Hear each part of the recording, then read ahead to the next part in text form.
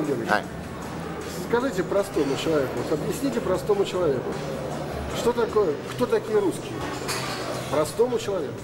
Однозначного ответа нет. Есть как минимум два ответа.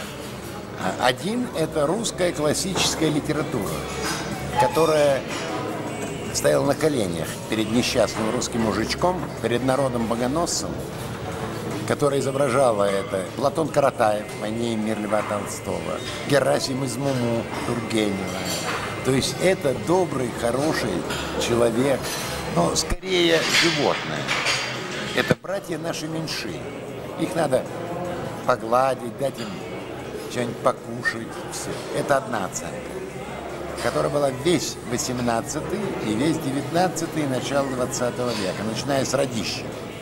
Но есть другая оценка, которую те же интеллигенты, кто уцелел в кровавых ханалии революции, февральской, октябрьской, гражданской войны, в эмиграции писали. Варвары, обезьяны, черносотенец, полковник Федор Витберг, издатель журнала «Луч света», издатель пресловутых протоколов сионских мудрецов на иностранных языках, попал в плен к хохладским и русским российским мужикам по дороге из Москвы в Киев. Они его обобрали, в одних кальсонах пустили, и после этого написал брошюру, называется «В плену у обезьян». Киев, 1918 год.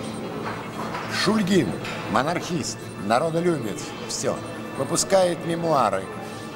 Зверь вышел из клетки. Но этим зверем оказался его величество русский народ. Каде... монархист. Кадетская лидерша. э, Ариадна Владимировна Тыркова-Уильямс. Подруга, школа, гимназическая подруга Крупской. Что она пишет? Дикий зверь. То есть это невозможно. Невозможно. Абсолютно другие оценки. Значит, что у нас сейчас происходит? У нас происходит сейчас борьба между двумя этими концепциями. С одной стороны, братья наши меньшие, с другой стороны, звери, которые опять грабь награбленные. Кстати, Шульгин написал потрясающие мемуары. Он сказал, бандитизм, варизм лежит слишком близко под шкурой каждого русского, любого. Поскреби, Владимир Ильич говорил, поскреби русского э, интеллигента, ты шовиниста. А Шульгин сказал, нет, поскреби любого, даже антишовиниста, и ты обнаружишь бандита. Вот. И все, и те, и другие все время хотели накормить народ. А его не надо кормить. Он сам себя накормит. Дайте ему возможность самому себя прокормить. Он и себя прокормит, и всех этих, которые наверху. Вот, Кто такие русские? вот кто такие русские. Они разные, совершенно разные. А если серьезно говорить, то связано это с условиями, в которых живут Россия. Ведь в большом философском смысле в России никогда не было антагонизма народ и власть. Была народ и природа, борьба за выживание. Абсолютно прав э, философ-эмигрант Иван Ильин, который всегда писал, что русские никогда не жили, они выживали в борьбе с природой. И сейчас почти половина населения России живет где? В избах, дровяное отопление. Воду где берут? В колодце, либо в лучшем случае в колонке. Стирают женщины где? Полощут белье в речке. Чего вы хотите?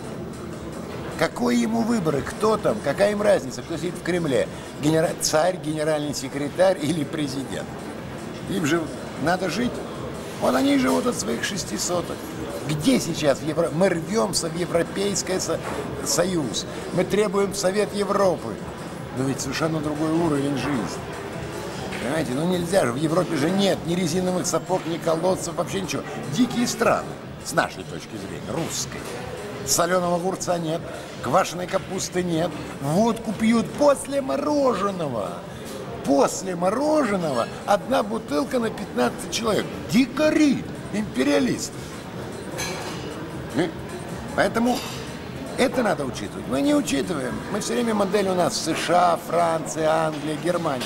А наша модель – это, извините, Китай, это Индия, я беру по территории, по населению, это Бразилия на худой конец.